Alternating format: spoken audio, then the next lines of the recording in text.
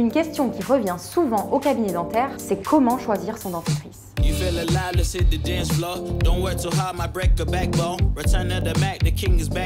La première chose à regarder sur un dentifrice et la plus importante est qu'il contienne du fluor. Mais attention, le dosage en fluor doit être adapté à l'âge. Ensuite, pour choisir un dentifrice, tout dépend de vos problématiques ou de vos besoins. Si vous êtes porteur d'un appareil dentaire, vous êtes ce qu'on appelle à risque carieux élevé. Il convient donc d'augmenter l'apport en fluor et de s'orienter vers des dentifrices à 2500 ou 5000 ppm de fluor.